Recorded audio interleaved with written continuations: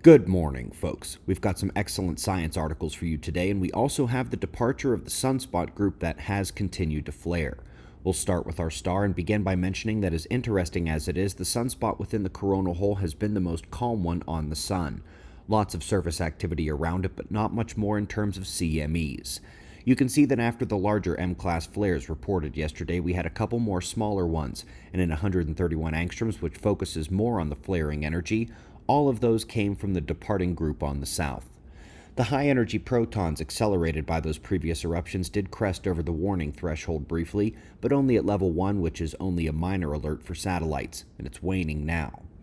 Coming back to the eruption in focus yesterday, it was the second of the larger M class events, the longer duration flare, and while the coronagraph images are not showing the entire thing, I do hope you can see how there is a faint ejecta signal all around the central blocking disk, indicating its width and likely impact to Earth. NOAA's Enlil spiral, it's about as good as I've ever seen them make one.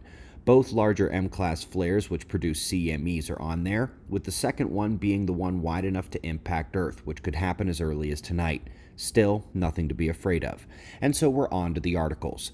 Up first, we've got an article that follows up previous ones about polar and oceanic destabilization preceding colder conditions. Indeed, Earth's safety mechanism is to inflict cold when the warming impacts the ocean heat transport via melted polar ice. Global warming scientists just pretend this doesn't exist and carry on. Up next, a good one on the LLSVPs Earth's internal skeleton. They believe that they have the ability to move as the surface land moves, especially the African plume.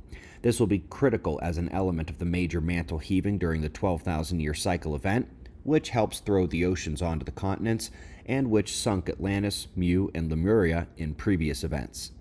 Lastly, folks, no more wondering if Earth's core is lopsided, which most observers didn't question anyway, but now we have more solid evidence that there is, quote, strong deformation at the core mantle boundary.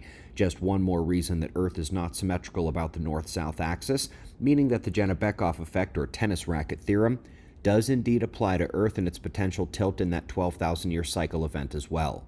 As always, the video playlists, our books on these topics, and more can be found in the description box below the video. We greatly appreciate your support. Subscribe, and we'll do this all again tomorrow, right here, but right now at 6 a.m. in the new Valley of the Sun. Eyes open, no fear. Be safe, everyone.